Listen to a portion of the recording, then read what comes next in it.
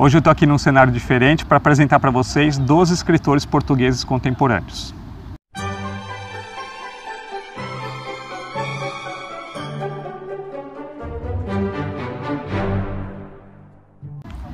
Oi pessoal, tudo bem? Eu sou Humberto, esse aqui é o canal Literário Primeira Prateleira. Eu estou aqui em Lisboa, então vim aqui nesse cenário diferente, característico aqui de Lisboa. Atrás de mim vocês têm a Torre de Belém, né? símbolo aqui de, de, de Lisboa. E eu quis aproveitar esse cenário para gravar para vocês um vídeo apresentando 12 escritores eh, portugueses contemporâneos. Né? Eu, vocês sabem, eu falo bastante de literatura brasileira contemporânea, já gravei um vídeo com só de com cinco escritoras argentinas contemporâneas, deixo o card aqui para vocês.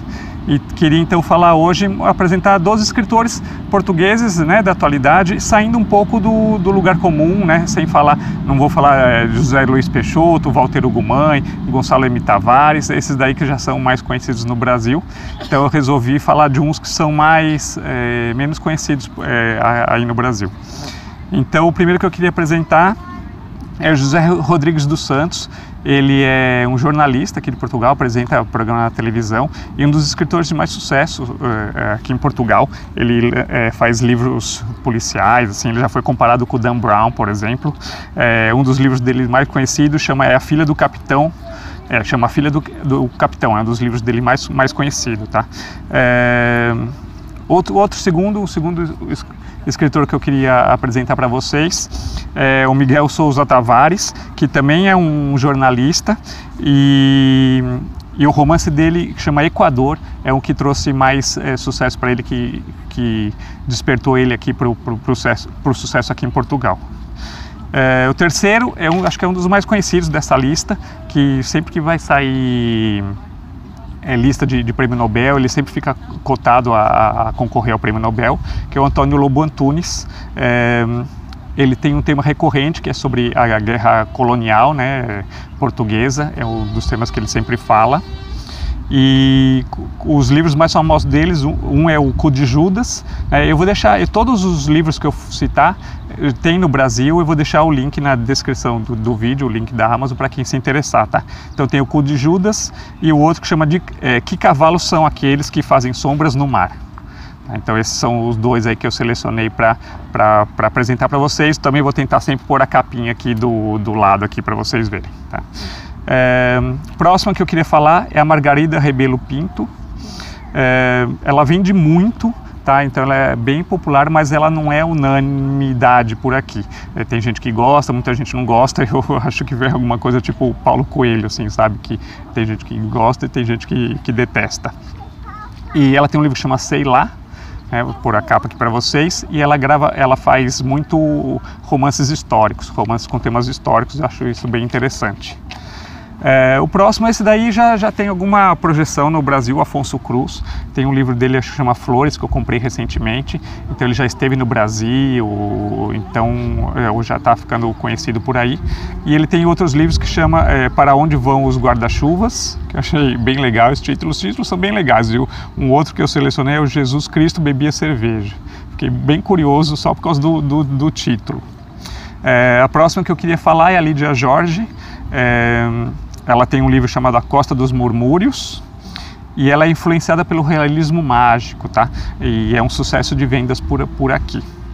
A próxima outra mulher, a Inês Pedrosa. Inês Pedrosa também é um nome que a gente já ouviu falar aí no, no Brasil. E alguns livros delas, dela são Nas Tuas Mãos, Faz-me Falta, é, Fica Comigo Esta Noite e Os Íntimos. Tá? Então a gente tem bastante títulos para conhecer essa escritora por aí. É... Próximo que eu queria apresentar é o Virgílio Ferreira. Esse é um outro nome que, que a gente ouve falar no, no, no Brasil. Ele tem um livro chamado Até o Fim, tá? que, que tem um pouco mais de projeção. É, a gente tem também o, o, João Tordo. O João Tordo é, também é um nome que eu já tinha ouvido falar e aí fui pesquisar, fazer pesquisas. Eu não anotei aqui nenhum nome, nome de livro dele, mas depois eu pesquiso e ponho para vocês aí. Eu não sei se tem títulos disponíveis no Brasil, tá? Se tiver, eu, eu deixo o card aí e aviso para vocês. É, o próximo que eu queria falar é o Nuno Carneiro. O Nuno Carneiro ele venceu o prêmio Leia, que é um dos prêmios mais importantes aqui de Portugal, é, com o livro é, Debaixo de Algum Céu. Tá? É, mais um, o Afonso Reis Cabral, que tem um livro chamado Meu Irmão, que é acho que é um negócio de, de, de autoficção, assim, acho que é bem interessante, não tenho certeza tá, tá, se eu não estou fazendo confusão com algum que eu tinha lido.